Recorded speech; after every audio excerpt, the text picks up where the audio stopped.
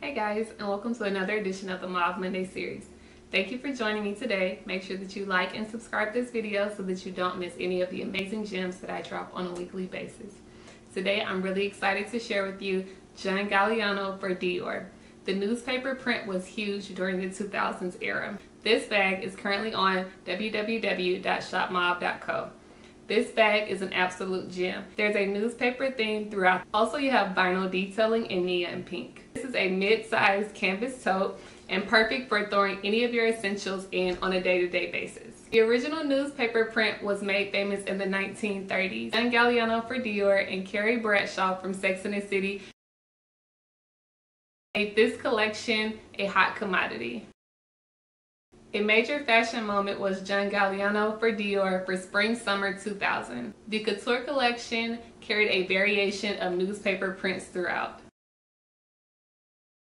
Today, newspaper print is back in a high demand and currently trending everywhere. You can see various designers like Balenciaga, Calvin Klein, Versace, DVF, you name it, you also have fast fashion retailers such as Pretty Little Thing who've taken their spin on the newspaper print as well. This bag is available right now. Make sure that you grab it before it's too late because trust me, this gem will not be lasting very long. Thanks for watching today. Make sure that you like and subscribe and until next time, shop mauve.